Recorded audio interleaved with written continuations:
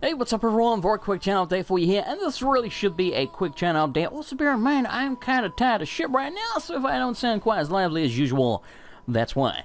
Now, a couple of things I want to cover, and it's pretty much entirely Dark Souls related, so if you don't care about Dark Souls, there's probably not going to be any information here that you care about. But yeah, so, you may remember last channel update I mentioned that I probably wanted to wait until April for the Scholar of the First Sin version of Dark Souls 2 to do a Sorcerer run. Well, I changed my mind. A couple of reasons I changed my mind. First of all, I just suddenly realized, you know what, four months is a long bloody time. And second of all, I was like, I... This is probably going to be my last opportunity to play Dark Souls 2 in its current state, if you will, the current version. So, you know, if they really are going to be messing around with enemy placements and AI and rebalancing the game and all kinds of shit like that, and, you know, anything else that they change in the Scholar of the First Sin version, this is my last chance, really, to record the current version and I want to get that done, so...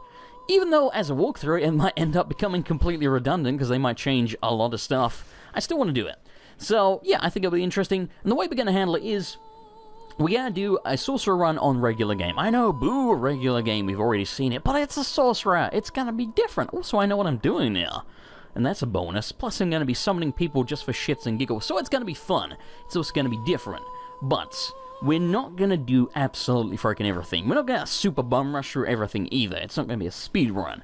But we should get through it pretty damn quickly, especially compared to my blind run. So yeah, we're going to do that, and then we're going to immediately go straight to New Game Plus. There's not going to be any break whatsoever. It's going to be regular game, boom, back to back with New Game Plus, with the same character.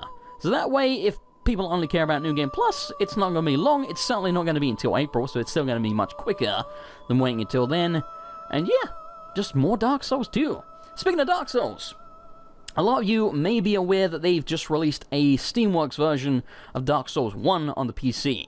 That's important for a couple of reasons. One, it means I might be able to actually play the bloody game now instead of having it just break every time I try and launch it. And two, uh, I believe the game might be more moddable now, because I just saw a tweet from PC Gamer that mentioned that you can now play as Artorias in like a debug version of it. I don't know, I want to check that out. And yeah, I also do plan to do a Perma Gravelord run of Dark Souls 1. I don't know if I'll be doing the aggressive AI thing as well, because it seems like a little bit too hardcore. But maybe we will, I don't really know.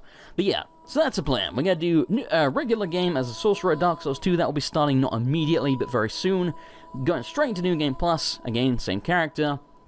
We finish up with that, assuming Bloodborne's not out by then, I doubt it will be. I don't think it's going to take me until freaking March probably gonna be much quicker than that. And yeah, then probably gotta jump straight into Dark Souls 1, do some, you know, messing around with the whole Artorias stuff, whatever else might be available at the time. Probably do the Perma Gravelord thing. So yeah, that's that's pretty much the plan. Even if Bloodborne's out the time, maybe we'll do Bloodborne and Dark Souls 1 at the same time. I don't really know. Anyway, thanks for watching. If you have any questions, feel free to ask. As always, follow me on Twitter at Mr. Anderson LP. And I'll see you next time.